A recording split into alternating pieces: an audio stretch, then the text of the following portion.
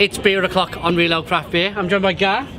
How you doing, Gar? I'm doing fine. How are you? Yeah. And you're the brewer for Seven Fjell Brewery. Yeah, that's right. Fantastic, fantastic. Um, means seven hills, Seven mountains. seven mountains in Yep. In English. Yep. And you started in 2015 or Uh, 14? Uh, actually, the brewery was founded in 2013. Okay, yeah. Uh, and we brewed uh, a few batches at a different brewery uh, before we opened our own, and our first batch was brewed in our own brewery in 2014. okay. Uh, basically three years ago now. Reviewed a lot of your beers at the beginning. Yeah.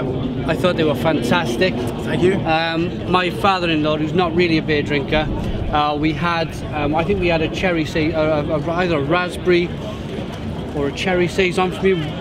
Right back, it was a fruit beer. It was a, yeah, we've made a couple of sours with uh, some fruit maybe some, Yeah. some like a cherry sour or something. Then, but it was fantastic. We, Thank you. And I, and I managed to kind of convert him with that beer That's to, good.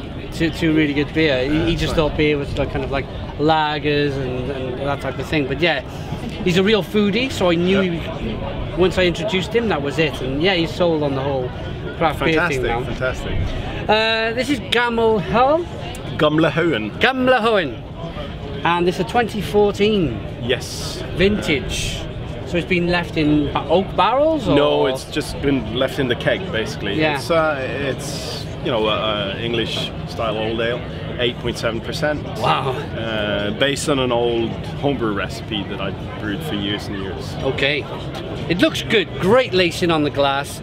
It looks like an old ale. Nice and dark and, and yeah. And what a beer to have with the fjord in the background. It's nice today, lovely, yeah. lovely day. Let's uh, get the aroma.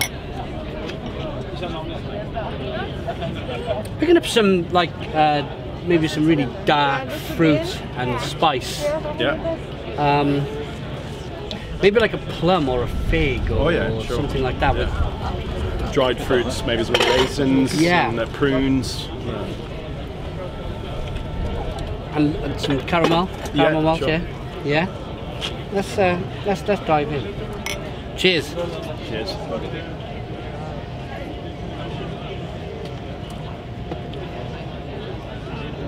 Oh yeah, really good mouthfeel.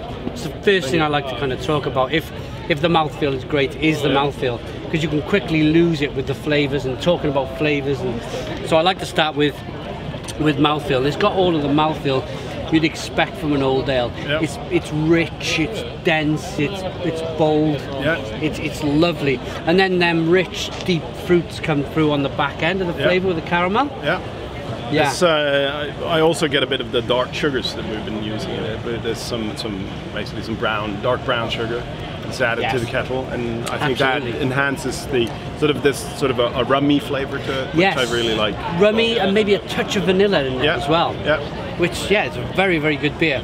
So you have the 2016 edition as well in there? Yes, How is do. this? We don't have the two beers side by side, but if you'd like to explain, how has this evolved over over time in the keg? Um, I think it takes on a more like a I don't know how to explain in English, but like sort of a more port wine character. Maybe. Yeah. Uh, you get uh, some oxidation, obviously, and but there, I mean, there's not much hops in here anyway. But um, you also have the, the malts that start to oxidize, and you get more and more of that.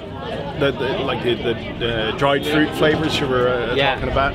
Uh, of course, those are more present in this one. Yeah. And it also feels uh, a bit drier. I mean, it's still a very full beer, and, and it's uh, it's got some sweet flavors to it. But the the oldest version definitely feels drier. Um, it's picked up a bit of carbonation in the Yeah. in the keg because obviously it's not pasteurized. Uh, so that would, especially initially when you drink it, that will affect the, the mouth feel and you know Yeah. uh, the way the beer is perceived. So it kind of adds to the dryness. Um, but I still think, I mean, the 2016 version is definitely still a, a very good beer. You have the same flavors in it. The recipe is exactly the same for Yeah. both uh, both years, but uh, uh, you have you have more of, of the fruity characters Yeah. or characteristics in this one, uh, definitely. So to finish on this, we've talked about the past. Yeah. Where's Seventh Fjell going in the future? Oh, total world domination. Yeah.